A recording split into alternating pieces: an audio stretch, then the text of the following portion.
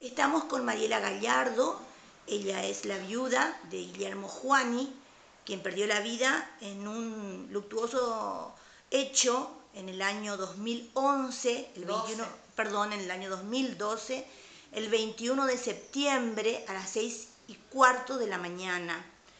Contanos un poquito, hacen una breve historia de lo que fue ese momento terrible. Eh, bueno, sí, la verdad que hoy es un día muy triste para mí. Eh, yo vengo del cementerio con mis hijos más pequeños y bueno, hoy se cumplen cuatro años de ese lamentable hecho. Eh, bueno, ese día eh, Guillermo salía de trabajar, volvía a su casa, después como salió en todos los medios de, de la jornada laboral que cumplía en el Casino del Litoral.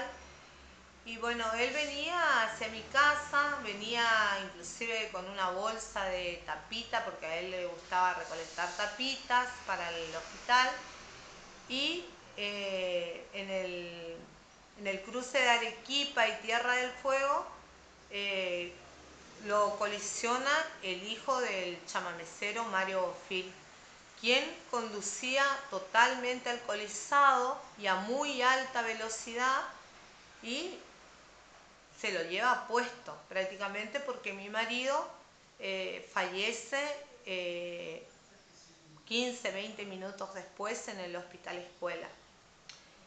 Eh, en ese momento, en ese primer momento, se, se informó mal porque no se sabía muchas cosas que después las pericias policiales eh, demostraron.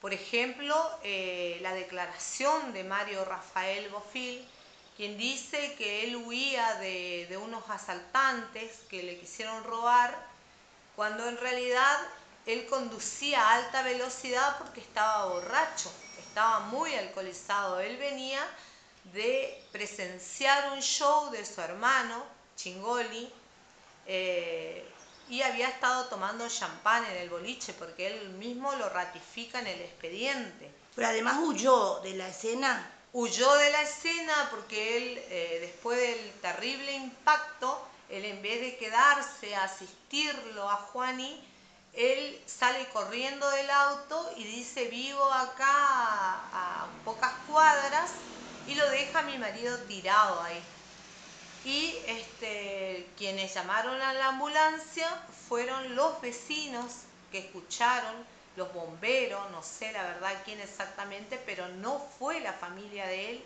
ni, ni el mismo Rafael Bofil.